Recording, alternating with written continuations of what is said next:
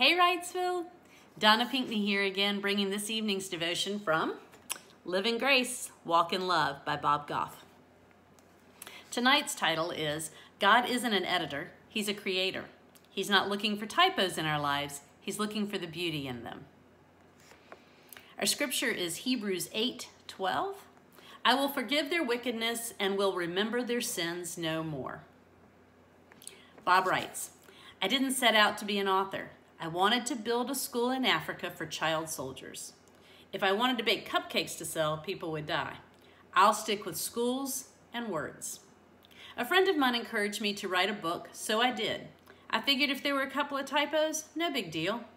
We sold way over a million of them and I gave all the money away, so I wrote another book. I learned that I'm much better at living stories than making sure all the punctuation is correct. So I have a few people in my life who love that sort of thing and they helped me out. One of them is John, who's married to my daughter Lindsay. John is an engineer, but that also means he's really good with details and he really likes grammar. I still don't understand why, but I'm thankful nonetheless. John would read my words and graciously fix all the errors I made.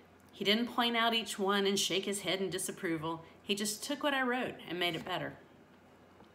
I used to think that God was like an editor trying to find all the typos in my life, standing over my shoulder like a school marm ready to whack my knuckles when I made a mistake.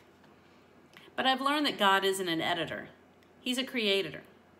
He's not giving us the hairy eyeball when we make mistakes. He's pointing toward the horizon with a gleam in his eye, and he's asking us to lift our eyes up toward a better story. He wants to tell a story of redemption of everyone he could use to tell it, he's made you one of the main characters. He wants you to keep your eyes on him. If there's a typo or two on a couple of pages of your life, don't obsess over it. Keep writing. God's got this. He'll help you make the changes you need to make, but his purpose for your life is so much bigger than giving you a failing grade. This question tonight for us is what typo have you been obsessing over? Give that some thought, folks. What typo have you been obsessing over, and how could you hand that over? God's not looking for the typos.